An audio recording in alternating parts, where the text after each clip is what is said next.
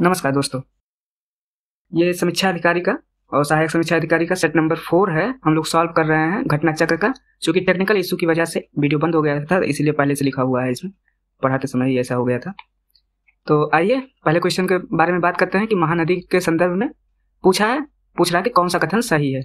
यहाँ दिया है कि महानदी बेसिन का विस्तार छत्तीसगढ़, ओडिशा, मध्य, यहाँ देखिए आंध्र प्रदेश, महाराष्ट्र और मध्य प्रदेश राज्य में है। पहला स्टेटमेंट ये हो गया। तेल नदी महानदी का सहायक नदी है, बिल्कुल सही है ये। महानदी ओडिशा राज्य में डेल्टा बनाती है, बंगाल के खाड़ी के समीप बनाती है ये तो दूसरा स्टेटमेंट भी सही हो जाता है। अब पहला स्टेटमेंट क्यों गलत है? हाँ ऑप्शन के मुताबिक ये दूसरा और तीसरा सही है। पहला इसलिए गलत हो जाता है क्योंकि ये जो विस्तार है, इसकी बात करें तो महानदी आठ सौ इक्यावन किलोमीटर मध्य पूर्व एशिया की नदी है ये, और जो छत्तीसगढ़ में एक नगरी कस्बा पड़ता है जिसका नाम है फरसिया गाँव। ये धमतरी जिला है वहाँ पर तो वहाँ के नज़दीक से निकलती है और पूर्व की दिशा की ओर बहती है। ओडिशा की तरफ़ जाते हुए जो बंगाल की खाड़ी में डेल्टा का निर्माण करती है ये। और इसके बेसिन की जो विस्तार की बात कर रहे हैं हम, छत्तीसगढ़, ओडिशा, यहाँ पर झारखंड होता तो सही हो जाता, महाराष्ट्र और आंध्र प्रदेश। तो आंध्र प्रदेश सॉरी मध्य प्रदेश लिखा है। आंध्र प्रदेश जो है, यहाँ लिखा है, ये गलत हो जाता है। आंध्र प्रदेश से नहीं गुजरती है, नहीं जाती है। झारखंड से जाएगी। तो ऑप्शन बी सही है इसमें। नेक्स्ट क्वेश्चन की बात करते हैं। देखिए, बाँध दिया है और नदी दिया है। तो हो सकता है ऊपर के दो बाँध का आप नाम ना सुने हो चेरुथानी बाँध और लिंगन मक्की बाँध लिखा है यहाँ। तो हो सकता है नहीं सुने हो, लेकिन दुल्हस्ती बाँध का नाम सुने हैं, काकरा पारा बाँध का नाम सुने होंगे। काकरा पारा बाँध अगर आप ताप्ती नदी कर लेते हैं, पहला ऑप्शन तो आप देखेंगे इसमें बी ऑप्शन पे चले जाइए डी का एक मिलाया गया है और इसी से आपका क्वेश्चन सॉल्व हो जाता है। क्वेश्चन सॉल्व करने का टेक्निक भी होता है। तो चेरू थाने, अब यहाँ पर मिला लीजिए, काकरा पारा बाँध जो है ताप्ती नदी हो जाता है। दुल्हस्ती बाँध की बात करते हैं, अब यहीं से फोर ले लीजिए, आप चिनाब नदी कर लीजिएगा। उसके बाद चेरुथानी अब जो नहीं पता था चेरुथानी के बारे में बात करें तो चेरुथानी बाँध जो है आपका पेरियार हो जाएगा और लिंगन मक्की बाँध जो है सरावती नदी हो जाएगा तो ऑप्शन बी यहीं से सही हो जाता है। नेक्स्ट क्वेश्चन की बात करते हैं हम लोग, तीसरे नंबर की। फ़सल दिया है और प्रजाति दिया है। तो सोयाबीन, देखिए, यहाँ पर सोयाबीन का जो प्रजाति है, स्वर्ण वसुंधरा, हो सकता है ना पता हो, याद रखिएगा। कपास का जो है, लक्ष्मी है। सत्यभामा जो है, धान का एक प्रजाति है। मालवीय चमत्कार जो है, ये चना का दिया था जो कि गलत है। मालवीय चमत्कार, अरहर की है प्रजाति, और अरहर की और भी प्रजातियाँ हैं। शारदा है, आशा है, अमर है, बहार है। लेकिन चने की भी प्रजातियाँ आप जान लीजिए। पूसा चमत्कार नाम है उसका। वैभव, श्वेता, भारती, यही सब है चने की प्रजातियाँ। कड़पुरा कोयला क्षेत्र के बारे में बात करते हैं। नदी घाटी में अवस्थित है, पूछ रहा है कहाँ पर। किस नदी घाटी में अवस्थित है? तो कड़पुरा क्षेत्र जो है, झारखंड में है ये, दामोदर नदी घाटी में अवस्थित है ये। लेकिन हम सिंगरैनी का नाम, सिंगरौली का नाम सुने होंगे। सिंगरैनी हो सकता है नाम सुने हो। तो सिंगरैनी आपका तेलंगाना में पड़ता है। ये भी एक जो है, कोयला क्षेत्र नदी घाटी में अवस्थित है, गोदावरी घाटी में अवस्थित है ये सिंगरैनी। और सिंगरौली की बात करते हैं तो मध्य प्रदेश और उत्तर प्रदेश में है सोन घाटी नदी। घाटी जो है, यहाँ पर है और ओडिशा में तलचर जो है, जो महानदी घाटी है वहाँ पर वहाँ पर तलचर या तालचर जो है कोयला क्षेत्र है, ओडिशा में है। नेक्स्ट क्वेश्चन की बात करते हैं। कह रहा है कि कौन सा सुमेलित नहीं है? क्वेश्चन नंबर फिफ्थ है ये। तो पावागढ़, सौर ऊर्जा बिल्कुल सही है। अनहोनी, गर्म जल स्रोत बिल्कुल सही है। देखिए, यहाँ पर ताता पानी लिखा है छत्तीसगढ़, सॉरी, ताता पानी का परमाणु ऊर्जा लिखा है, ये छत्तीसगढ़ में है, जो है ताता पानी। और ये भूतापीय ऊर्जा है, ये भूतापीय ऊर्जा है। लेकिन यहाँ परमाणु ऊर्जा लिखा है, जो कि गलत हो जाता है। चमेरा आप याद रखिएगा, आगे क्वेश्चन भी है। चमेरा जो है जलीय ऊर्जा है, बिल्कुल सही है। तप्त पानी एक है उड़ीसा में है, अवस्थित। नेक्स्ट क्वेश्चन की बात करते हैं कि परित्यक्त नगर नहीं है, कह रहा है, जिसे घोष टाउन भी बोलते हैं। तो पहले जाने की कौन कौन से हैं इसमें। तो लखपत है, कुलधारा है धनुषकोडी है, तीनों जो है, ये घोष टाउन है, परित्यक्त नगर है। मुक्तेश्वर का नाम आता है, जो कि उत्तराखंड के पर्वतीय शहर है एक। तो ये मुक्तेश्वर वहीं से आता है ये नहीं है परित्यक्त नगर। फिर देखिए माउंट ताल दिया है और माउंट एपो ज्वालामुखी का संबंध है। हो सकता है माउंट ताल का नाम नहीं सुने हो लेकिन माउंट एपो का नाम सुने होंगे। फिलीपीन से, से संबंधित है ये ज्वालामुखी। फिर देखिए एक दिया है इटली। इटली का तो आपको पता है एटना वाला। माउंट एटना और जो है बिसुबियस का नाम सुने होंगे इसमें। तो ये इटली में है। लेकिन एक मैक्सिको की बात करते हैं ये सब ज्वालामुखी हैं जो। पोपो कैटेपिटल नाम है और कोलिमा नाम है। इसको याद रखिएगा। पेरू से भी है सबनकाया नाम है, ज्वालामुखी का संबंध है, पेरू। नेक्स्ट क्वेश्चन की बात करते हैं एल्यूसियन द्वीप पूछ रहा है, किस देश पर स्वामित्व तो है एल्यूसियन द्वीप का? तो एल्यूसियन द्वीप पर जो है यूएसए का स्वामित्व है, ठीक है? और उसके बाद वहीं बियर द्वीप की बात कर लें अगर हम तो नॉर्वे का है, ग्रीनलैंड का तो आप लोग को पता होगा, डेनमार्क का है, और फ्रेंच जोसेफ लैंड एक है, द्वीप समूह तो रूस का स्वामित्व है इस पर देखिए नेक्स्ट क्वेश्चन है कि जापान की राजधानी टोक्यो किस द्वीप पर अवस्थित है? तो होन्सु द्वीप का नाम सुने होंगे, लेकिन यहाँ पर एक और हम पॉइंट का डिस्कशन करेंगे होन्सु द्वीप से हट के थोड़ा सा ये टोक टोक ये टोक्यो की राजधानी है। जापान जो है टोक्यो की राजधानी है। इसको भी याद रखिएगा। देखिए, इसको जो है नॉर्थ से साउथ तक जो है, इसको लगाने के लिए भी आ जाता है, पूछ भी लेता है। तो होकैडो जो है, सबसे नॉर्थ में है, फिर होन्सू फिर सुकोकू और क्यूसू लास्ट में है साउथ में है। नेक्स्ट क्वेश्चन की बात करते हैं हम लोग। थाईलैंड इंडोनेशिया वियतनाम रबड़ के प्रमुख उत्पादक देश हैं, बिल्कुल सही है। ब्राज़ील वियतनाम तथा इंडोनेशिया जो है काफ़ी के प्रमुख उत्पादक देश हैं, ये भी सही है। देखिए, मोका मोका नाम जान लीजिए, मोका। काफ़ी ब्राज़ील में उगाई जाती है तो नहीं, ऐसा नहीं है, ये यमन में उगाई जाती है, लेकिन मोका इसका नाम क्यों पड़ा है, ये भी जान लीजिए कि मोका बंदरगाह से निर्यात होता है, इसलिए इसका नाम मौका पड़ गया।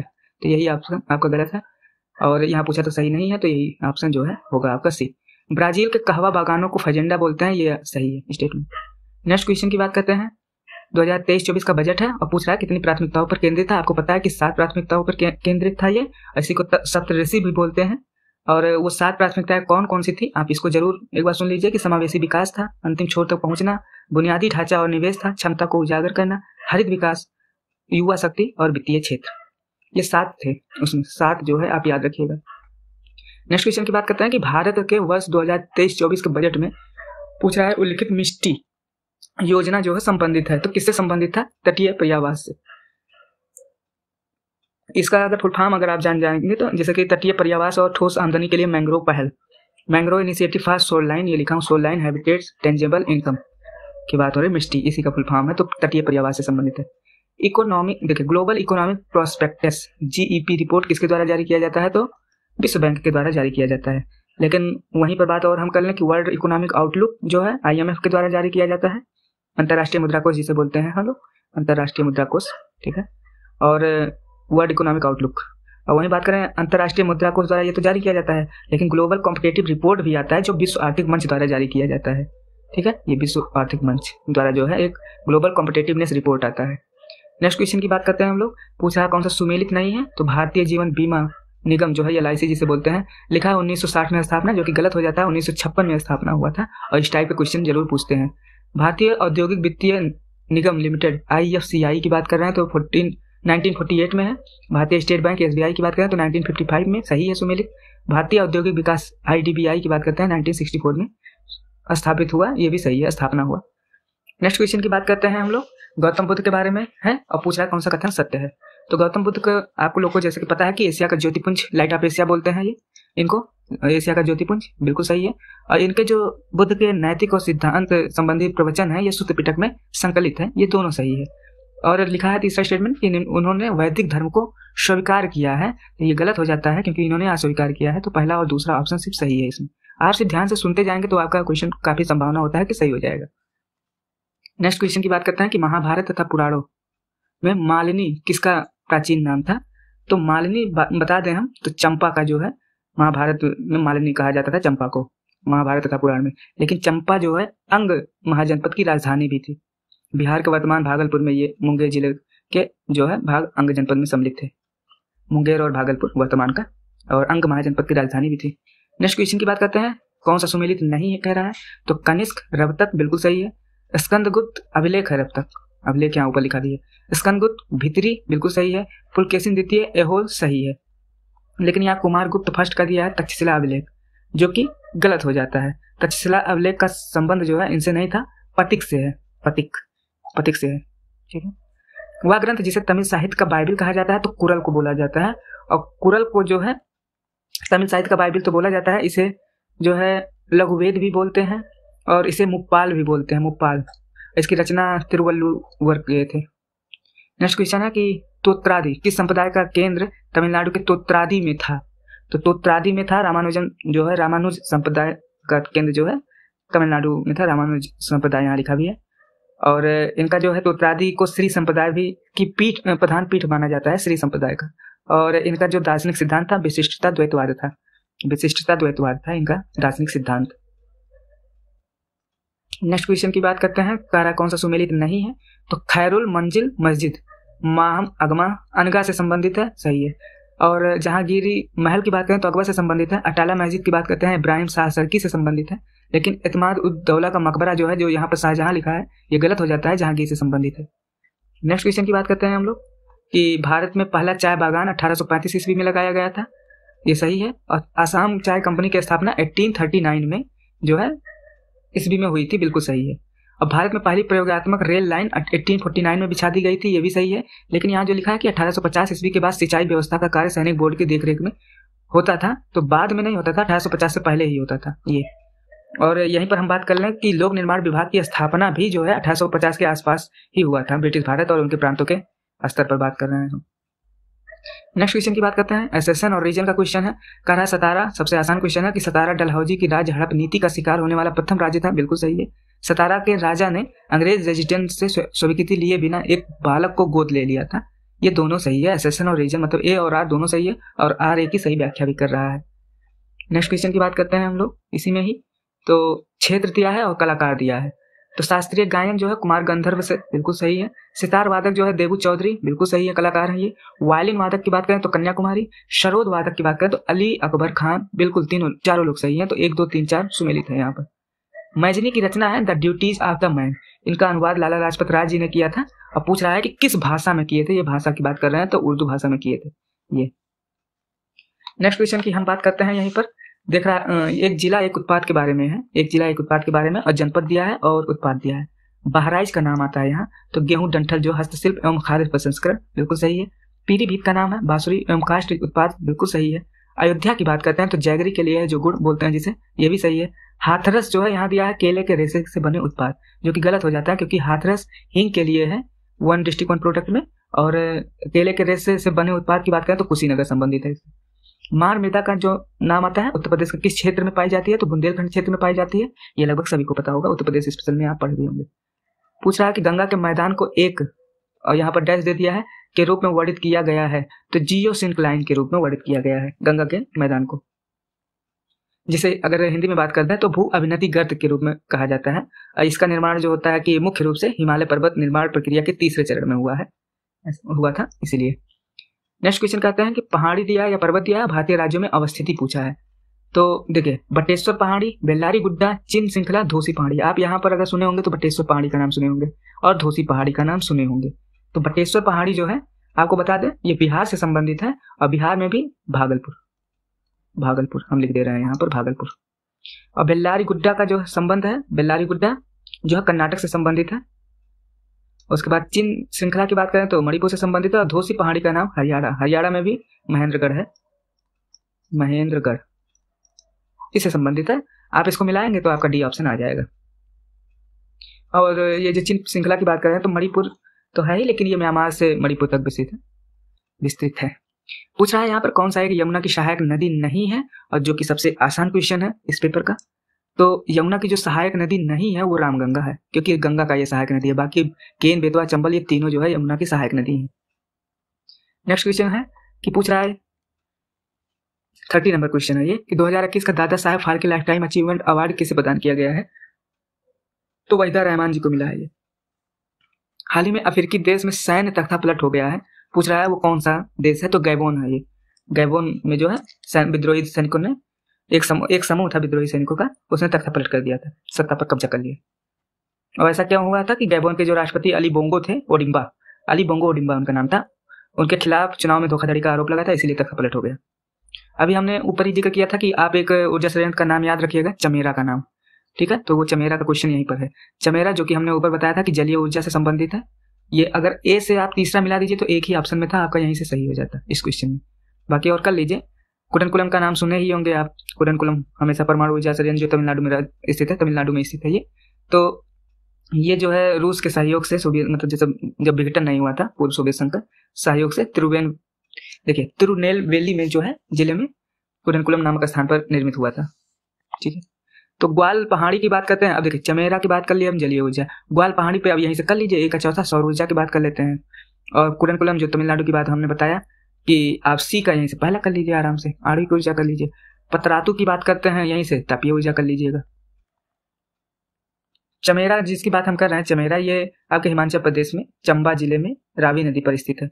अब पतरातु की बात कर रहे हैं तो झारखंड में है, राज्य में जो है रामगढ़ जिला है, वहाँ पर है। और ग्वाल पहाड़ी जो है, हरियाणा राज्य के गुरुग्राम में स्थित है। देखिए नेक्स्ट क्वेश्चन की बात करते हैं कि अंतरराष्ट्रीय सॉरी राष्ट्रीय अंतर्देशीय नौवाहन संस्थान जो है नीनी, अवस्थित है तो पटना में अवस्थित है, ये, और इसकी स्थापना फरवरी 2004 में की गई थी। थर्टी फोर नंबर है कि एक जल डमरू मध्य अंतरराष्ट्रीय तिथि रेखा के सर्वाधिक निकट है। अब देखिए, सबसे पहले तो अंतर्राष्ट्रीय तिथि रेखा आपको पता कि जो है ज़ीरो डिग्री है, एक सौ एक सौ अस्सी डिग्री है, आप देखेंगे ऐसे ऐसे ऐसे ऐसे बना है, ठीक है तो अब देखिए एक सौ अस्सी के करीब जो जो आएगा इसमें हम एक बार पढ़, बता दे रहे हैं, यहाँ पर लिखा भी गया है कि बेरिंग जल डमरू मध्य जो है एक सौ अड़सठ डिग्री तेईस मिनट वेस्ट देशांतर पर अवस्थित है। तो ये सबसे करीब है, ठीक है? इसीलिए यही होगा ऑप्शन बेरिंग जल डमरू का। लेकिन मलक्का की बात करते रहे हैं हम नाइन्टी नाइन डिग्री बत्तीस मिनट ये लिखा है, ईस्ट देशांतर। और बेरिंग का तो हमने बता ही दिया। फ्लोरिडा की बात कर लेते हैं तो एट्टी डिग्री तेईस मिनट पश्चिमी देशांतर पर अवस्थित है। और जिब्राल्टर की बात कर रहे हैं तो पाँच डिग्री इकतालीस मिनट वेस्ट देशांतर पर स्थित है, ठीक है? तो ये बेरिंग जल डमरू मध्य पूछ रहा है कि जल डमरू मध्य अंतर्राष्ट्रीय तिथि रेखा के सर्वाधिक निकट कौन सा है? तो बेरिंग है। ग्रेट ऑर्टिजन बेसिन किस देश में अवस्थित है?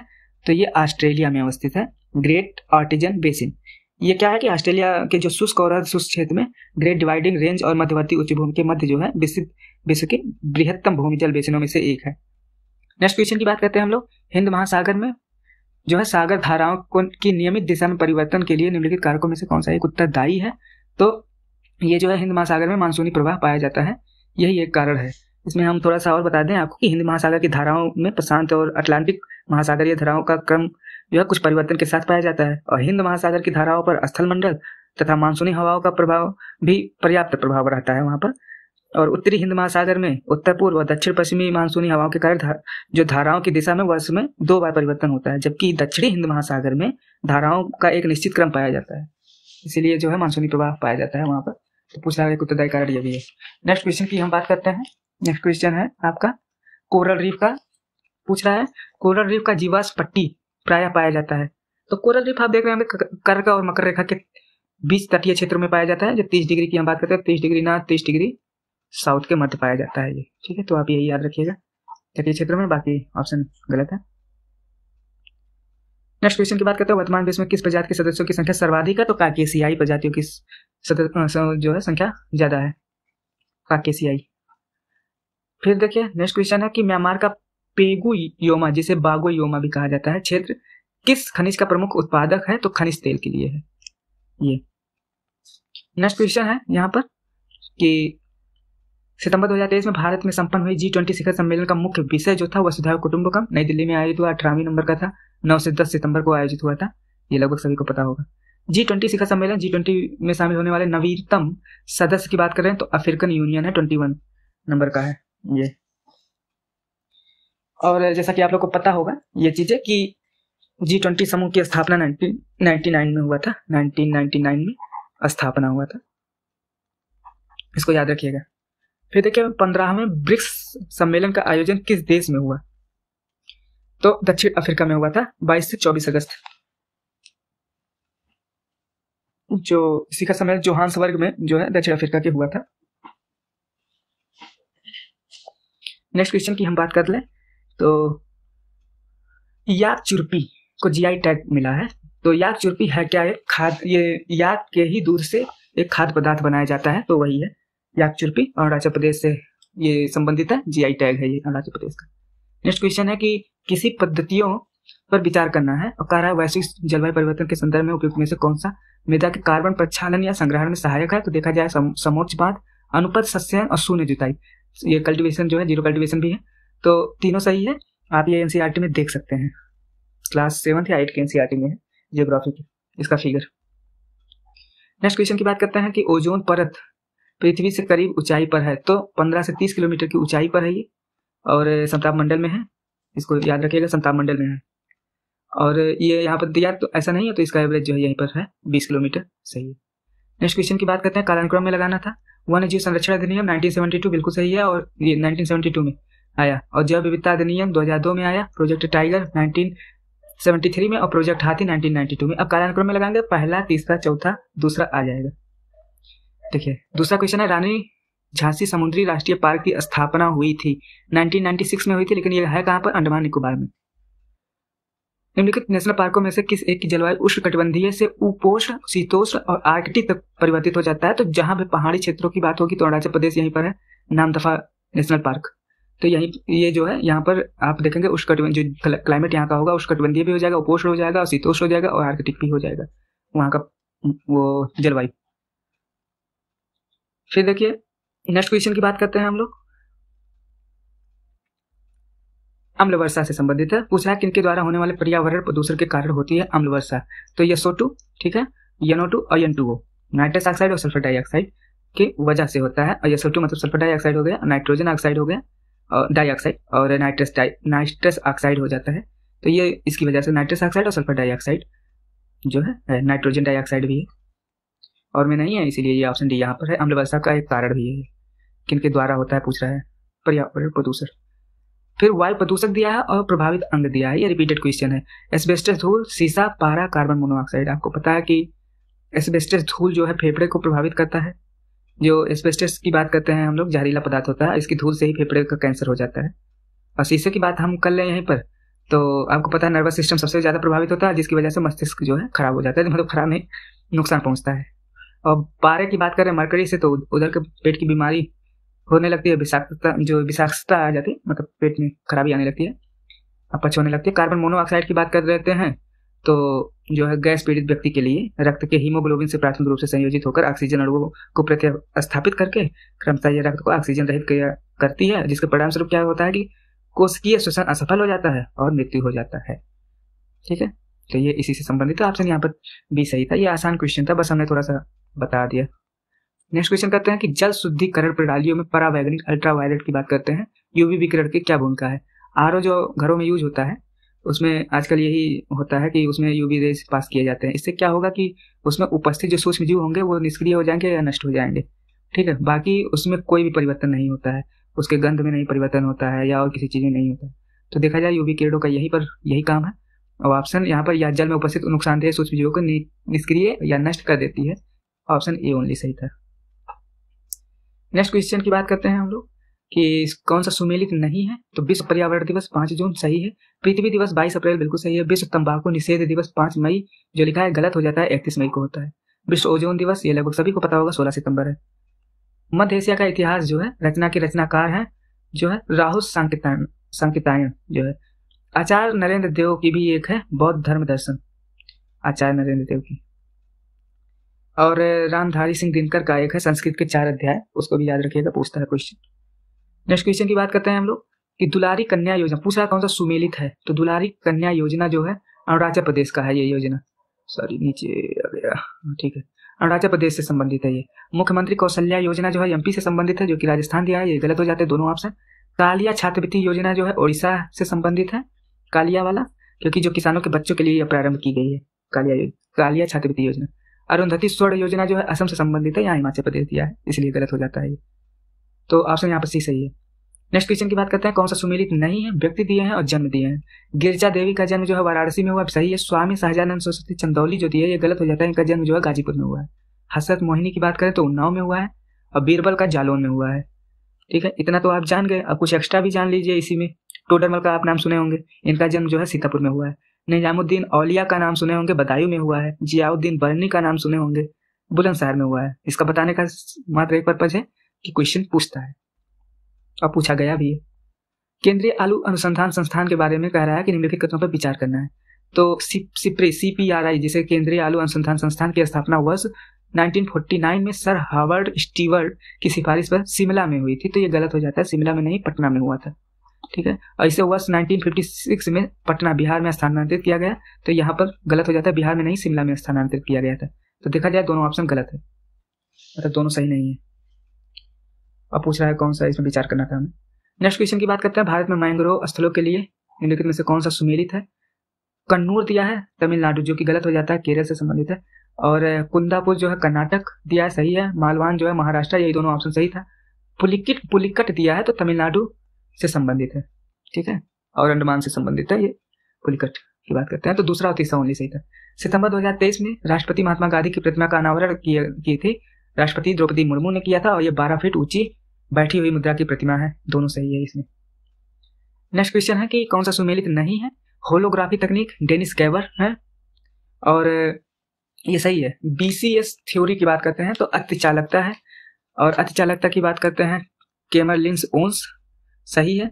लेकिन यहाँ पर हेराल्ड हास का दिया था वाईफाई, जो कि गलत हो जाता है, लाईफाई जो है, लाइट फिडेलिटी जिसे बोलते हैं, इन्होंने खोजा है। बात करें कि राष्ट्रपति की शक्तियों के संबंध में कौन सा सही है तो उनकी पूर्व अनुमति के बिना संसद में कोई विधेयक प्रस्तावित नहीं किया जा सकता, जो कि गलत हो जाता है, ऐसा कुछ नहीं है। ठीक है? और वह मृत्युदंड में क्षमा कर सकते हैं, लेकिन वह कोर्ट मार्शल में दोषी ठहराए व्यक्ति को क्षमा नहीं दे सकते हैं तो गलत है, दोनों में क्षमा दे सकते हैं। ये। तो दोनों ऑप्शन यहाँ पर गलत हो जाता है। नेक्स्ट क्वेश्चन की बात करते हैं। कह रहा है कि राज्य है और विधानसभा किसी सदस्य संख्या है। पूछा कौन सा सुमेलित नहीं है। तो त्रिपुरा का सिक्सटी है, बिल्कुल सही है ये सिक्सटी असम की बात करते हैं तो वन ट्वेंटी नाइन की जगह वन ट्वेंटी सिक्स होगा। तब सही होगा। मणिपुर सिक्सटी हो जाता है, मिजोरम फोर्टी हो जाता है। नेक्स्ट क्वेश्चन की हम बात यही करते हैं। प्राकृतिक न्याय की अवधारणा जो है, भारतीय संविधान के किस अनुच्छेद में निहित है? तो प्राकृतिक न्याय की बात कर रहे हैं हम लोग आर्टिकल फोर्टीन में अवस्थित तो ये निहित है। और लेकिन आर्टिकल ट्वेल्व में भी है राज्य को परिभाषित करता है आर्टिकल ट्वेल्व और जो थर्टीन दिया गया है, ये मूल अधिकारों से असंगत या उनकी अल्पीकरण करने वाली विधियों के बारे में है। और पंद्रह जो है, धर्म, मूल, वंश, जाति, लिंग या जन्म, स्थान के आधार पर विभेद के निषेध के बारे में बात करता है।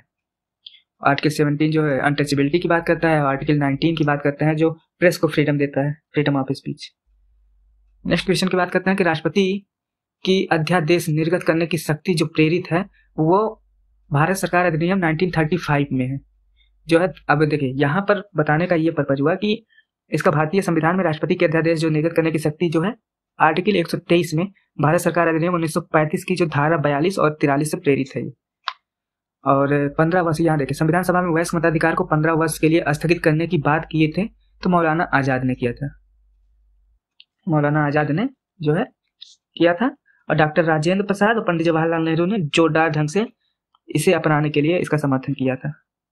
वयस्क मताधिकार विषय में बहस के दौरान जो है थे। नेक्स्ट क्वेश्चन की हम बात करते हैं कि जी ट्वेंटी शिखर सम्मेलन 2023 के दौरान नई दिल्ली में भारत मंडपम में स्थापित शिव नटराज की मूर्ति के संदर्भ में है। यह मूर्ति अष्ट धातु की बनी है, ये सही है। सत्ताईस फुट की मूर्ति है, बिल्कुल सही है। इसका निर्माण जो है तमिलनाडु के स्वामी मलाई जो है, प्रसिद्ध मूर्तिकार है। राधा कृष्णन स्थापित और उनकी टीम द्वारा किया गया है। बिल्कुल, ये दोनों स्टेटमेंट सही है। तो सिक्सटी फाइव में देखा जाए तो दोनों ऑप्शन सही है। नेक्स्ट क्वेश्चन की हम बात करते हैं यहीं पर ही कि कह रहा है कि निम्नलिखित में से कौन सा सुमिलित नहीं है? भारतीय संविधान का अनुच्छेद दिया है, संबंधित राज्य। तो तीन सौ इकहत्तर का नागालैंड से है। पहले नंबर आप ये जान लीजिए कि ये क्या है तो भाग इक्कीस में अस्थायी संक्रमणकालीन कहें और विशेष उपबंध है के तहत जो है ये अनुच्छेद और संबंध राज्य हैं, ये सब। और तीन सौ जैसे इकहत्तर में जो है महाराष्ट्र और गुजरात है तीन सौ इकहत्तर का में नागालैंड है, तीन सौ इकहत्तर खा में असम है, तीन सौ इकहत्तर गा में मणिपुर है, तीन सौ इकहत्तर घा में जो है आंध्र प्रदेश है तो ये मणिपुर वाला यहाँ मेघालय दिया था तो गलत हो जाता है। तीन सौ इकहत्तर गा में जो है मणिपुर है। और घा की हमने बता ही दिया, आंध्र प्रदेश है, और वहीं आंध्र प्रदेश और तेलंगाना दोनों है। और वहीं अंगा की बात अगर हम कर लें तो ये जो है आंध्र प्रदेश में केंद्रीय विश्वविद्यालय की बात करता है, और तीन सौ इकहत्तर चा में सिक्किम है, और तीन सौ इकहत्तर छा में मिजोरम है और तीन सौ इकहत्तर जा में बात कर रहे हैं तो अरुणाचल प्रदेश है और झा में गोवा है और ईया में कर्नाटक है। तो गोवा को भी याद रखिएगा, झा में है। तीन सौ इकहत्तर जो है, झा, ये है गोवा। गोवा से संबंधित। इस वाद के फैसले में सर्वोच्च न्यायालय ने सर्वप्रथम घोषित किया कि उद्देश्य का संविधान का हिस्सा नहीं है, कह रहा है। तो बेरुवाड़ी केस में जो है बेरुवाड़ी यूनियन के बाद में 1960 में आया था केस हुआ था, सर्वोच्च न्यायालय ने सर्वप्रथम घोषित किया था कि उद्देश्य का जो है प्रस्तावना संविधान का अंग नहीं है, लेकिन केशवानंद भारती में माना था कि जो है उद्देश्य का जो है प्रस्तावना का संविधान का भाग मान लिया था इसमें केशवानंद भारती ने निम्नलिखित में कौन से विशेषता भारतीय राजतंत्र की नहीं है कह रहा है तो सत्ताधारी, सत्तावादी सरकार नहीं है, यहाँ पर चुने जाते हैं हर पाँच साल पर। बाकी सब विशेषताएँ, एक संविधान संघ सरकार है, लोकतांत्रिक सरकार है, विधि का शासन है, ये तो सब सही है। नेक्स्ट क्वेश्चन की बात करते हैं कि जी ट्वेंटी शिखर सम्मेलन 2023 नई दिल्ली में विदेशी मेहमानों को दिए गए उपहारों में एक जिगराना इत्र का संबंध पूछ रहा है। किससे है? कौन से मतलब कहाँ से संबंधित है? तो कन्नौज से संबंधित है। इत्र की नगरी भी कही जाती है, उत्तर प्रदेश में है कन्नौज, यूपी में है। भारत के संविधान का निम्नलिखित में से कौन सा अनुच्छेद प्रेस की स्वतंत्रता के संबंध में है? अभी हमने बोला भी था, आर्टिकल जो है नाइनटीन है, लेकिन आप एग्जैक्ट याद रखिए, उन्नीस एक का में है ये। और आपकी प्राइवेसी का है, ये जो है आर्टिकल ट्वेंटी वन। डीपीएसपी के बारे में कह रहा है कि राज्य के नीति निर्देशक तत्वों के बारे में निम्नलिखित तत्वों पर विचार करना है। तो ये तत्व देश के सामाजिक, आर्थिक लोकतंत्र की व्याख्या करते हैं। इन इन तत्वों में अंतर्विष्ट उपबंध किसी न्यायालय द्वारा प्रवर्तनीय या इन्फोर्सिबल नहीं है। देखा जाए तो दोनों ऑप्शन सही है यहाँ। नेक्स्ट क्वेश्चन की हम बात करते हैं कि एक नागरिक के मूल कर्तव्यों में निम्न, में से कौन सा कर्तव्य सम्मिलित नहीं है? फंडामेंटल ड्यूटीज़ में। तो अस्पृश्यता मिटाने की ओर प्रयास करें। ये जो है आर्टिकल सेवनटीन का है अनटचेबिलिटी बाकी देखा जाए, प्राकृतिक पर्यावरण के रक्षा और उनका संवर्धन सही है। स्वतंत्रता के लिए हमारे राष्ट्रीय आंदोलन को प्रेरित करने वाले उच्च आदर्शों को संजोए रखें और उनका पालन करें, ये भी सही है। वैज्ञानिक दृष्टिकोण, मानववाद और ज्ञानार्जन तथा सुधार की भावना का विकास करें, ये भी सही है। फिर नेक्स्ट क्वेश्चन है यहाँ पर। यदि भारत के प्रधानमंत्री संसद के उच्च सदन के सदस्य हैं तो यहाँ पर चार ऑप्शन दिया है। वे यहाँ पर सिर्फ़ सही होगा, वे अविश्वास प्रस्ताव की स्थिति में अपने पक्ष में वोट नहीं दे सकेंगे। लेकिन अगर अविश्वास प्रस्ताव पारित हो गया तो पूरा जो है, सबको इस्तीफा देना पड़ेगा। मंत्रिपरिषद को त्यागपत्र देना पड़ेगा। फिर नेक्स्ट क्वेश्चन की बात करते हैं। असेसन रीजन का क्वेश्चन है कि राज्यसभा का विघटन नहीं होता, बिल्कुल सही है। इसके यथासंभव एक तिहाई सदस्य एक हर दूसरे वर्ष सेवानिवृत्त हो जाते हैं, बिल्कुल ये सही है। इसीलिए असेसन और रीजन दोनों सही है ये। नेक्स्ट क्वेश्चन है कि भारतीय संसद किस रीति के प्रशासन एडमिनिस्ट्रेशन पर नियंत्रण रखता है, किस रीति से पूछ रहा है? तो आपको पता है कि संसदीय समितियों के माध्यम से रखता है ये। और इसी में ही हम अगर हम बात कर लें कि जैसे हम उदाहरण के लिए बात करते हैं कि लोक वित्तीय पर नियंत्रण वह तीन समितियों के माध्यम से करता है, जैसे लोक लेखा समिति से, प्राकलन समिति से और लोक उपक्रमों पर समिति से। नेक्स्ट क्वेश्चन है यहाँ पर। सेवेंटी सिक्स नंबर है कि नीचे दो कथन दिए गए हैं और एक तथा दूसरे का आ दिया गया है। तो विदेशी कानूनों को संवैधानिक वैधता के संबंध में भारत के सर्वोच्च न्यायालय की अनन्य अधिकारिता है तो नहीं है। सर्वोच्च न्यायालय भारतीय संविधान का संरक्षक है, बिल्कुल सही है तो ए गलत हो जाता है और सही हो जाता है। नेक्स्ट क्वेश्चन की बात करते हैं हम लोग यहाँ पर। भारत के निर्वाचन आयोग के बारे में कह रहा है तो संसद राज्य विधानमंडलों के सभी चुनाव करवाना बिल्कुल सही है। राष्ट्रपति, उपराष्ट्रपति पदों के लिए चुनाव करवाना ये भी सही है। यहाँ लिखा कि किसी राज्य में स्वतंत्र निष्पक्ष चुनाव के लिए अनुकूल दशा न होने पर राष्ट्रपति शासन लगाया, लगाए जाने की संतुति करना ये नहीं करता ये। निर्वाचन सूचियाँ तैयार करवाता है कार्य का निरीक्षण करता है, निर्देशन एवं नियंत्रण करता है, ये भी सही है। तो पहला, दूसरा, चौथा सही है इसमें। देखिए बी ऑप्शन सही है। नेक्स्ट क्वेश्चन की बात करते हैं कि जी ट्वेंटी में प्रमुख किसी वैज्ञानिकों की बैठक जो हुई थी ये भारत की अध्यक्षता में सत्रह से उन्नीस अप्रैल 2023 के मध्य हुई थी, ये वाराणसी में हुआ था। इसको इतना याद रखिएगा। देखिए, ये है सब क्वेश्चन रीजनिंग के हैं तो इसको थोड़ा सा हम जल्दी जल्दी कराएँगे, क्योंकि बहुत आसान आसान थे इसमें। देखिए, इसमें कह रहा है, यदि पाँच, दस, पंद्रह यक्स का एवरेज की बात कर रहा है औसत ट्वेंटी है तो यक्स का मान ज्ञात करना था, अब इसको निकालेंगे, ट्वेंटी करेंगे तो यक्स इक्वल टू फिफ्टी आ जाएगा आपका वैल्यूज़ फिर एक निश्चित कुछ भाषा में बी वाई ई लिखा है टू फोर्टी फाइव किया है यहाँ पर बी वाई ई को फिर देखिए, आप इसको उल्टे वर्ड में लिखिए। उल्टा मतलब जैसे जेड को वन मानिए, फिर वाई को टू मानिए तो ऐसे लिखा गया है ये। तो इसको जब आप ऐड कर देंगे, जैसे एक यहाँ पर मैं किया हूँ सी ए आर तो चौबीस, छब्बीस, नौ तो fifty nine multiply by five करेंगे तो आपका आ जाएगा जो है टू नाइन्टी फाइव यही ऑप्शन हो जाएगा इसका। बाकी ऐसे ही सॉल्व होगा। जो है, उल्टा वर्ड करिएगा, पच्चीस, दो, बाईस, फिर मल्टीप्लाई बाई फाइव कर दीजिएगा तो टू फोर्टी फाइव आ जाता है। ओ एल ए को भी जब सॉल्व करेंगे फिफ्टी थ्री इंटू फाइव आएगा two fifty six two sixty five हो जाएगा। फिर देखिए लुक प्राय संख्या की कह रहा है कि इसको दो से डिवाइड करके दो ऐड कर दीजिए। फिर दो, इसका भी दो से डिवाइड करके दो ऐड कर देंगे। ऐसे ही ये भी करेंगे तो वन फिफ्टी नाइन आ जाएगा यहाँ पर। सीधा सा क्वेश्चन था ये। फिर इसको भी आप नेक्स्ट क्वेश्चन है, इसमें एटी टू नंबर कि डी सी बी ए इसमें जो है आप चार चार का वो ग्रुप बना लेंगे जब। सॉरी हाँ चार चार का ग्रुप बनेगा। तो आप इसको जब फिल करेंगे तो C D B D A आ जाएगा। नेक्स्ट क्वेश्चन की हम बात करते हैं यहीं पर ही। देखिए, ये एट्टी थ्री नंबर क्वेश्चन है। ये एच से जी तक गया है। तो एच से जी तक माइनस वन है। बी से जो है डी तक गया है तो प्लस टू कर दिया। एस से पी तक गया तो फिर माइनस थ्री कर दिया। मतलब उल्टा चल दिया। ऐसे ही आप करेंगे तो आपका आ जाएगा ई एच जे निकल के। हम बस बता रहे हैं, आप कर लीजिएगा इसको, क्योंकि इस टाइप का जो आप क्वेश्चन करेंगे, तभी आपका प्रैक्टिस होगा। क्योंकि हमने किया है तो इसलिए हम दो तीन बार कर चुके हैं, इसलिए पता है। इसमें आकृति है, पहले आकृति ही आप देख लीजिए, आकृति ही नहीं पता चला। आयत दिया है तो पूछ रहा है कितना वो है तो इसमें आप जब निकालेंगे, एक, दो, तीन, ऐसे चार हो जाएगा, पाँच हो जाएगा, और ये छह हो जाएगा। टोटल छह थे। इस गिंधा ने कहा कि वह अपनी माँ की इकलौती भाई के बेटे की माँ के ससुर की से मिली है तो वह किससे मिली है? वो नाना से मिली थी। ये आसान है, आप इसको निकालिएगा ज़रूर। पढ़ो दस किलोमीटर चलता है उत्तर की ओर और, वह पश्चिम की ओर मुड़ेगा फिर दस किलोमीटर चलेगा फिर वह दक्षिण की ओर मुड़ेगा पाँच किलोमीटर चलेगा। अंत में वह पूर्व से मुड़ेगा और दस किलोमीटर चलेगा। पूछ रहा है आरंभिक स्तर से वह कौन सी दिशा में होगा? तो वो उत्तर दिशा में होगा। नेक्स्ट क्वेश्चन की बात करते हैं कि निम्न सारणी दिया है? देखिए ये अच्छा क्वेश्चन था और हम बता दे रहे हैं इसे। ऐसे ही ए से बी बी से सी ठीक है? एक्स वाई जेड ऐसे ही चला है। ऐसे ही आप कर लेंगे तो आपका यह चौरियस आ जाएगा। जिस प्रकार जैसे विद्युत जिस प्रकार तार से संबंधित है उसी प्रकार पानी जो है पाइप से संबंधित है। अब नेक्स्ट क्वेश्चन करते हैं। Eighty nine number statue of wellness की बात कर रहे हैं। तो किससे संबंधित है स्टैचू ऑफ़ वेलनेस तो आपको पता है कि मध्य प्रदेश सरकार द्वारा अभी खंडवा ज़िले के ओंकेश्वर में मानधाता पहाड़ी पर आदि शंकराचार्य की प्रतिमा का अनावरण किए हैं। तो इन्हीं से संबंधित है ये statue of well well oneness है सॉरी वेलनेस में बोल रहा हूँ वननेस स्टेचू ऑफ़ वननेस आदि शंकराचार्य ये पहले नंबर आप याद रखिएगा। एमपी इसको एमपी में एमपी सरकार द्वारा खांडवा जिला है एक वहाँ पर। खांडवा जिला खांडवा जिला है। अब लिखते चल रहा हूँ थोड़ा सा। खांडवा जिला है और वहीं पर है जो है ओंकरेश्वर में मानधाता पहाड़ी है मानधाता पहाड़ी सीधे लिख दे रहे हैं। मानधाता पहाड़ी। पर ही जो है आदि शंकराचार्य की प्रतिमा का अनावरण भी किए हैं तो जिसे स्टैचू ऑफ़ वननेस बोलते हैं। नेक्स्ट क्वेश्चन है, सात गोलो V one V two V three V four V five V six V seven तक है। फिर ये क्वेश्चन जब आप करेंगे तो आप देखेंगे। पूछ रहा है कि जो वी सिक्स का आयतन सबसे कम नहीं है तो कितने गोलों का आयतन वी थ्री से कम नहीं है तो कोई गोला नहीं था ज़ीरो तो इसका वी वन ऐसे ऐसे बनता चला जाएगा V two V one V two V three ऐसे ऐसे जाएगा तो वी थ्री के बाद ऐसे कोई नहीं था, इसीलिए आयतन इसका सबसे कम है। चलिए, पहला डब्ल्यू एच ओ पारंपरिक चिकित्सा वैश्विक शिखर सम्मेलन अगस्त 2023 में गांधीनगर, गुजरात में, जो है, प्रारंभ हुआ है, और सत्रह से अठारह अगस्त को। नेक्स्ट क्वेश्चन है इसमें। फिर से देखिए रीजनिंग का कि हेमंत एक दर्जन अंडा पाँच दशमलव पाँच ज़ीरो रुपए प्रति अंडे के हिसाब से खरीदता है। ये बहुत आसान क्वेश्चन था। और जैसे इसको हम सॉल्व करके बताते हैं आपको कि देखिए, पाँच दशमलव पाँच ज़ीरो रुपए प्रति अंडे की बात कर रहे हैं तो एक दर्जन की बात कर रहे हैं, पाँच दशमलव पाँच ज़ीरो मल्टीप्लाई ट्वेल्व कर दीजिए तो आपका छाछठ रुपए आ जाएगा। फिर कह रहा है, दो अंडा खराब हो गया था इसमें।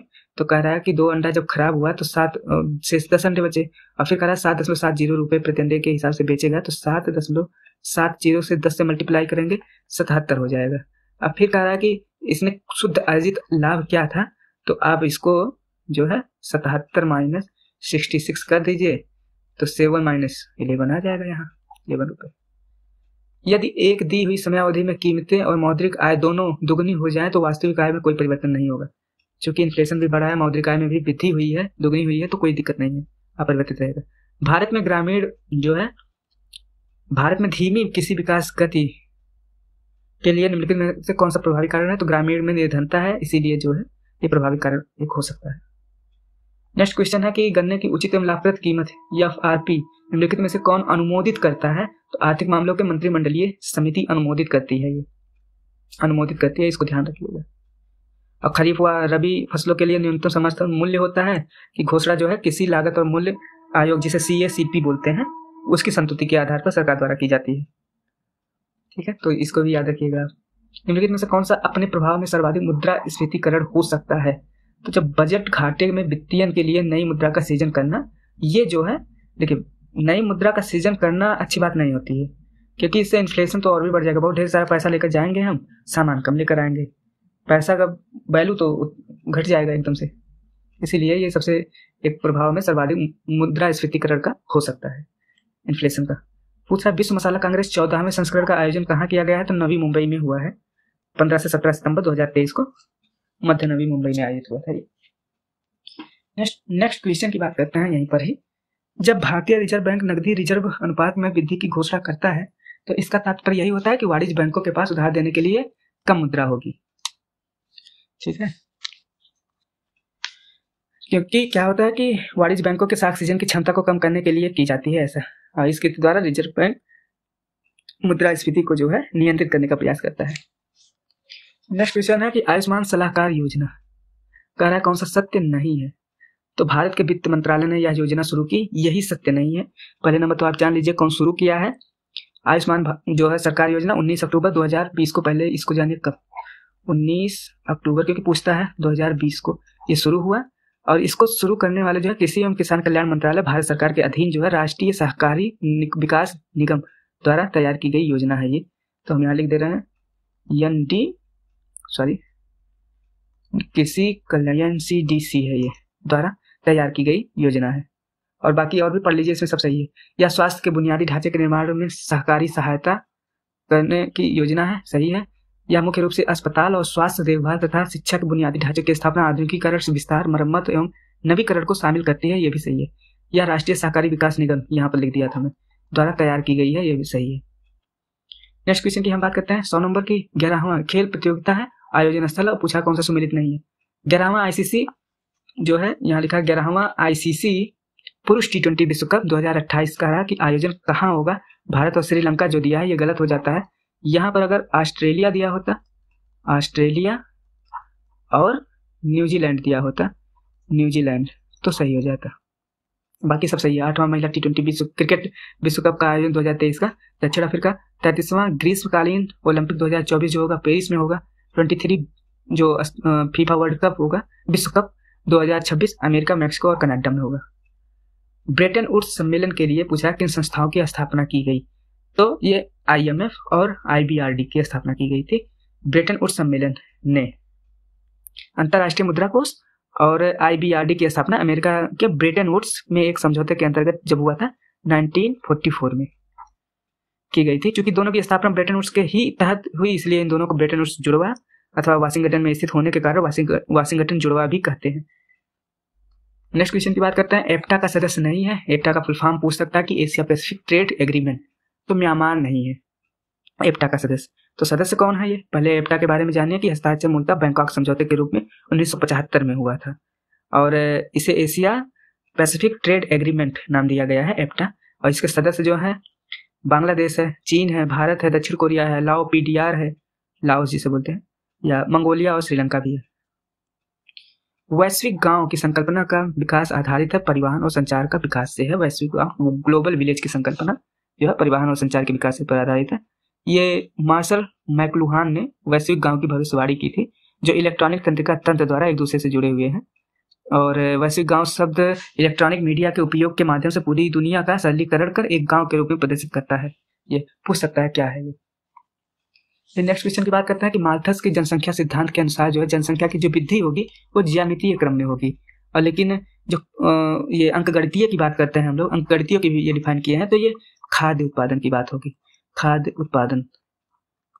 खाद्य उत्पादन होगा एक, दो, तीन, ऐसे इस इस क्रम में, लेकिन जनसंख्या वृद्धि होगी दो, चार छ आठ, सोलह, इस टाइप से होगा। यहाँ देखिए। नेक्स्ट क्वेश्चन है कि इक्कीस से पच्चीस सितंबर 2023 के मध्य पहली उत्तर प्रदेश अंतर्राष्ट्रीय व्यापारी प्रदर्शनी 2023 का आयोजन ग्रेटर नोएडा में हुआ था। राष्ट्रपति द्रौपदी मुर्मू ने इस प्रदर्शनी का उद्घाटन किया था। इक्कीस से पच्चीस सितंबर को हुआ था, यह भी याद रखिएगा। सिंधु घाटी सभ्यता के बारे में कौन सा कथन असत्य है कह रहा है? तो आपको पता है कि लोहे से परिचित नहीं थे ये लोग। कांस्य युगीन सभ्यता थे ये, यहाँ हम लिख दे रहे हैं। कांश युगीन सभ्यता, आप जोड़ लीजिए, सभ्यता थी। बाकी सब सही है। नगरों में नालियों का सुदृढ़ व्यवस्था थी। व्यापार और वाणिज्य उन्नत थी। उन्नत दशा में थी माता देवी की उपासना की जाती थी और इसीलिए माता पूजा भी होती थी। ये लोग लोहे से भी परिचित नहीं थे। इसीलिए लोहे से जो है कांस्य युगीन सभ्यता थी ये। बस इतना कांसा जानते थे ये लोग। तो यही ऑप्शन गलत हो जाता। है पूछा है कौन सा सकते हैं? सिंधु को ही सैंधो बोलते हैं। निम्नलिखित राज्य में किनका संबंध बुद्ध के जीवन से था? तो कौशल और मगध का जो है, संबंध था बुद्ध के जीवन से। तो महाजनपद है ये, कौशल और मगध आपको पता होगा, सोलह महाजनपदों में से, ये भी दो महाजनपद है। और गौतम बुद्ध ने अपनी शिक्षा के प्रचार प्रसार हेतु मगध और कौशल दोनों राज्यों में भ्रमण किया था। नेक्स्ट क्वेश्चन है। देखिए, एक सौ आठ नंबर। ये तो हो गया कौशल और मगध, ठीक है। लगभग दो वर्षों के अभियान के पश्चात सिकंदर महान ने 325 ईसा पूर्व में भारत छोड़ दिया। ये सही है। वह चंद्रगुप्त मौर्य से पराजित हुआ था, ये गलत हो जाता है क्योंकि वो लड़ा ही नहीं था, चला गया था। पराजित नहीं हुआ था। फिर यहाँ देखिए नेक्स्ट क्वेश्चन है कि उन्नीसवां जी ट्वेंटी शिखर सम्मेलन वर्ष 2024 कहाँ पर आयोजित किया जाएगा? तो रियो डिजेनेरियो में आयोजित किया जाएगा। ब्राज़ील ब्राज़ील में है ये रियो डिजेनेरियो मध्यकालीन भारत के आर्थिक इतिहास के संदर्भ में जो अरघट्टा किसे निरूपित करता है? तो अरगट्टा बहुत बात तक बोला जाता था। ये भूमि की सिंचाई के लिए प्रयुक्त जलचक वाटर व्हील होता था, ये सिंचाई के लिए था। निम्नलिखित घटनाओं पर विचार करना है। विजयनगर के कृष्णदेव राय का शासनकाल, कुतुब मीनार का निर्माण और पुर्तगालियों का भारत आगमन फिरोज तुगलक की मृत्यु के बारे में है। तो कुतुब मीनार का निर्माण जो है, प्रारंभ हुआ था कुतुबुद्दीन ऐबक ने किया और पूर्ण किस, किसने किया? इल्तुतमिश ने किया। फिरोज तुगलक की मृत्यु की बात करें तो तेरह में होता, तेरह में होता है। फिरोज कि तेरह ईस्वी में होता है और पुर्तगालियों को आपको पता है कि आगमन कब हुआ है? 1498 में होता है और वास्को डिगामा के नेतृत्व में हुआ था। और कृष्णदेव राय का शासनकाल की बात करते हैं तो इनका कृष्णदेव राय का शासनकाल आप जान रहे होंगे 1509 से पंद्रह तो देखा जाए आप का जो विकल्प है, पहले नंबर तो आप इसका देखिए कौन शुरू किया था तो कुतुबुद्दीन कुतुबुद्दीन यहाँ लिख दे रहा हूँ एबक एबक ने शुरू किया, पूर्ण करवाया इल्तुतमिश ने। इल्तुतमिश ने, तमिश ने पूर्ण करवाया था। तो आपका ये सही होता है, दूसरा, चौथा, तीसरा, पहला। इसलिए वो लिख दिया हूँ। शाहजहां के बल्क अभियान का उद्देश्य जो था कि काबुल के सीमा से सटे बल्क और बदखां में एक मित्र शासक को लाना था, जिससे कि वहाँ पर नियंत्रण स्थापित हो सके। ताकि जैसे ईरान और मुगल साम्राज्य के बीच जो है बफर राज बन सके नेक्स्ट क्वेश्चन की बात करते हैं हम लोग कि नीचे एसेसन और रीजन है। मुगल साम्राज्य के पतन के बाद मराठा सबसे शक्तिशाली देश शक्ति के रूप में उभरे उभरे थे, ये बिल्कुल सही है। मराठा पहले शासक थे जिनके पास एकीकृत भारतीय राष्ट्र की संकल्पना थी ये गलत हो जाता है। क्योंकि ये लोग ये महाराष्ट्र में जो है संपूर्ण निवासी थे और यहीं पर ही बात करते हैं। जाति भाषा धर्म साहित्य निवास स्थान की एकता के आधार पर ये राष्ट्रीयता की भावना को जन्म दिया। इनकी यही तो एक, एक कमी रह गई कि मराठों ने एकीकृत भारतीय राष्ट्र की ये संकल्पना का अभाव था। तो ए सही हो जाता है आर गलत हो जाता है। नेक्स्ट क्वेश्चन है सूची फ़र्स्ट है सूची सेकंड रंपा विद्रोह है पावना, किसान विद्रोह है बंगाल, नील विद्रोह है, जयंतिया विद्रोह है। ठीक है तो रंपा विद्रोह अठारह जो है, अठारह से अस्सी में है। तो अठारह अठारह से अस्सी में आप सुमेलित कर लीजिए इसे। पावना विद्रोह की बात करते हैं तो अठारह सौ तिहत्तर से छिहत्तर में है, पावना विद्रोह। और बंगाल नील विद्रोह की बात करते हैं 1859 से 60 में है। और जयंतिया विद्रोह की बात करते हैं 1860 से 63 में तो बी ऑप्शन आपका सही होगा यहाँ। नेक्स्ट क्वेश्चन है, बाल गंगाधर तिलक सांप्रदायिकतावादी थे जो कि गलत हो जाता है और उन्होंने धर्म का राजनीतिक अस्त्र के रूप में प्रयोग किया था, ये बिल्कुल सही था ये। वे राष्ट्रवादी नेता थे, सांप्रदायिकतावादी नहीं थे, जिन्होंने जनता से निकट का संबंध स्थापित करने का प्रयत्न किया है।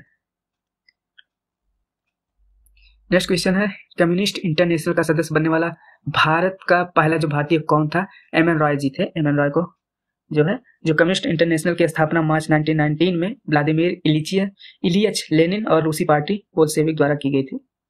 और इन्होंने एम एन रॉय लेनिन के निमंत्रण पर मास्को गए और कम्युनिस्ट इंटरनेशनल के सदस्य के रूप में सदस्यता लिए थे। भारत के पहले बन गए थे। फिर नेक्स्ट क्वेश्चन की बात करते हैं कि भारतीय स्वाधीनता संग्राम दिया है घटनाओं पर। उनको विचार करना है कि, देखिए, गांधी इरविन समझौता पाँच मार्च 1931 को होता है। भारतीय राष्ट्रीय कांग्रेस का कराची अधिवेशन होता है। तो कराची अधिवेशन आपको पता है कि उन्नीस में होगा। कब होगा? ये उनतीस से इकतीस मार्च को होगा 1931 में होगा। भगत सिंह को फांसी हो जाती है। ये आपको पता है तेईस मार्च को।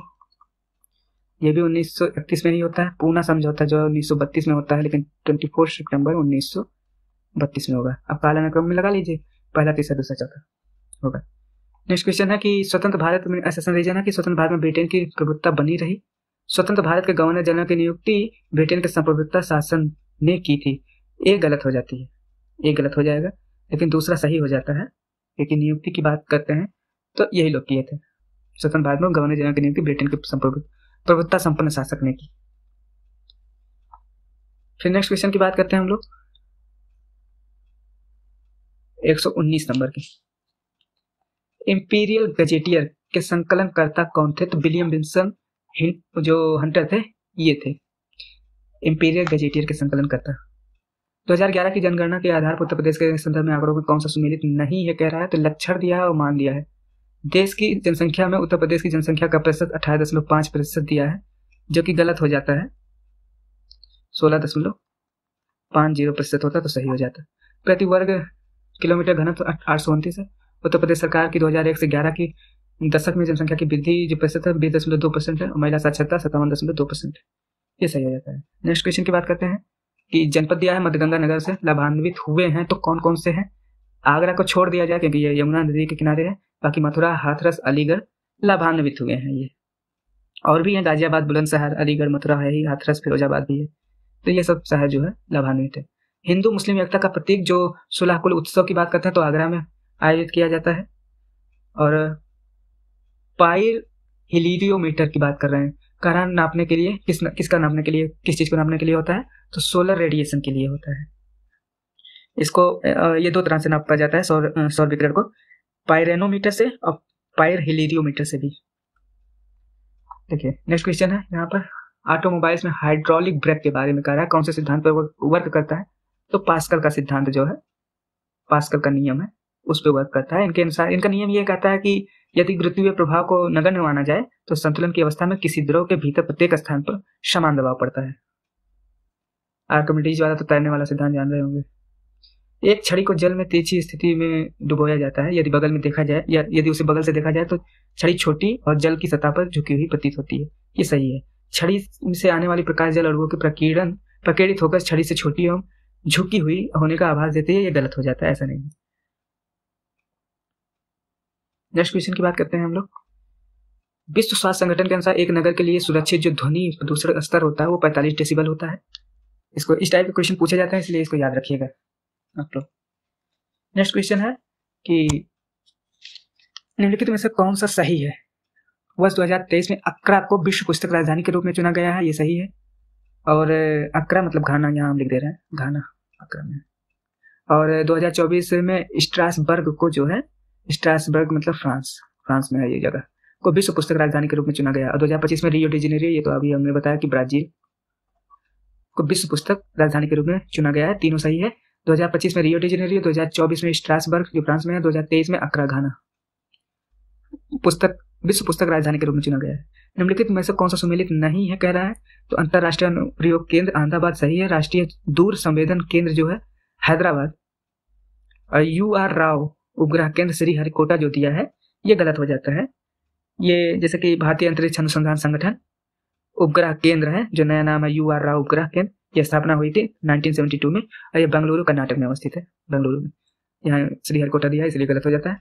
विक्रम साराभाई अंतरिक्ष केंद्र तिरुवनंतपुरम, बिल्कुल सही है। इमने नाइट, जो कि भारतीय तटीय रेखा के साथ व्यापक रूप से वितरित है तो किसका खनिज है? तो टाइटेनियम का है ये खनिज। और नेक्स्ट क्वेश्चन की बात करते हैं। निम्नलिखित में से कौन सा सुमेलित नहीं है, कह रहा है। तो bleaching powder calcium oxychloride है। Plaster of Paris calcium bicarbonate दिया है, जो कि गलत हो जाता है। और प्लास्टर ऑफ़ पेरिस की बात करते हैं तो कैल्शियम सल्फेट हेमी हाइड्रेट है, ये लगभग सभी को पता होगा। वॉशिंग पाउडर की बात करते हैं सोडियम कार्बोनेट और बेकिंग सोडा जो है सोडियम बाइकार्बोनेट है, सही है। निम्नलिखित में से कौन सा सुमेलित नहीं है? ज्वारनाशी पैरासिटामॉल है। प्रतिफेन कारक की बात करें तो पॉलीएमाइड सिलिकॉन सही है। पुतिरोधी जो है, जिसे एंटीसेप्टिक बोलते हैं। एस्पेरिन, जो कि गलत हो जाता है, और अस्थि क्षय रोधी जो है कैल्सीफेरॉल, विटामिन डी जिसे बोलते हैं, सही है ये। तो ये एस्पिरिन जो है एंटीसेप्टिक थोड़ी नहीं होता है। लहसुन की अभिलाक्षणिक गंध का कारण है सल्फ़र यौगिक, प्याज का भी है यही। और कह रहा है कि कौन मतलब इसमें सुमेलित करना था। तो विटामिन, देखिए, यहाँ लिखा है विटामिन एंजाइम, हार्मोन, प्रोटीन। आपको पता है, प्रोटीन तो कैरेटिन कैरेटिन हो गया, ठीक है? और विटामिन की बात करते हैं तो कैरोटीन हो जाएगा। एंजाइम की बात करते हैं, पेप्सिन हो जाएगा। हार्मोन की बात करते हैं, टेस्टोस्टेरोन, प्रोजेस्टेरोन। अब इसको मिला लीजिए ऊपर, यहाँ पे तो ये हो जाएगा आपका। सही। रक्त समूह की खोज की बात करते हैं तो कार्ल लैंड स्टीनर ने किया था। ए, बी ए, बी और ओ की खोज जो है, रिसर्च बंदर में एक अलग फैक्टर भी ढूंढे थे आर एस फैक्टर जिसे बोलते हैं। उन्नीस सौ में कार्ल लैंड स्टीनर ने चार रक्त समूह को खोजे थे। क्लोनल वर्ण का प्रयोग किया जाता है तो आलू में जो आँख, आंखा निकल जाता है, उसी को बोलते हैं विधि। प्रयोग, ये प्रयोग किया जाता है। क्लोनल वर्ण निम्नलिखित में से कौन सा जोड़ा सही है? तो लाइगेसेज जो है, लाइगेसेज, ये जैविक अणुओं जैसे डीएनए हो गया आदि को संश्लेषण एवं खंडित जैविक अणुओं की मरम्मत, रिपेयर आदि कार्यों के लिए सक्रिय होकर उन्हें परस्पर जुड़ने से में उत्प्रेरित, उत्प्रेरक का भूमिका निभाता है। तो लाइगेसेज को आणविक सीवन कार, सिलने वाला कहा जाता है ये लाइगेसेज stargazing the player player in my life पुस्तक का पुस्तक के जो लेखक हैं, रवि शास्त्री जी हैं। नेक्स्ट क्वेश्चन है। Under sixteen SAFF football championship 2023 के संदर्भ में है। पूछ रहा है कि कौन सा सही है? कथन। भारत ने बांग्लादेश को हरा कर जीत लिया है, बिल्कुल सही है ये। इसका आयोजन भूटान के थिम्पू में हुआ था, सही है। इसमें टूर्नामेंट में पाँच टीमों ने भाग लिया था तो ये गलत हो जाता है। छह टीमों ने भाग लिया था। और भारत ने इसी में ही दो ज़ीरो से दो ज़ीरो से बांग्लादेश को हराया था। नेक्स्ट क्वेश्चन की बात करते हैं। कौन सा सुमिलित नहीं है? आर वेंकट रमणी पंद्रहवें अटॉर्नी जनरल, लेफ्टिनेंट जनरल सेवानिवृत्त अनिल चौहान, दूसरे चीफ ऑफ़ डिफेंस स्टाफ सही है। R Madhavan, F T I I society के अध्यक्ष हैं। बिल्कुल सही है, सुमन बेरी जो है, उपाध्यक्ष है, यहाँ अध्यक्ष दिया है, नीति आयोग का तो ये गलत हो जाता है। नेक्स्ट क्वेश्चन की बात करते हैं, जो लास्ट भी है। उत्तर प्रदेश सरकार द्वारा अठारह जो है प्राचीन एवं ऐतिहासिक महत्व के स्थलों को संरक्षित घोषित किया है। इनमें से कौन सा शामिल नहीं है? तो चंपत राय का महल झांसी सही है, रानी का तालाब प्रयागराज सही है, संत कबीर नगर कोट टीला जो है सही है, लेकिन शाही पुल जो है, जौनपुर, ये सम्मिलित नहीं है इसमें। बाकी सब सम्मिलित है। तो ये अपना सेट फोर था। इसको कर लिया गया। Thank you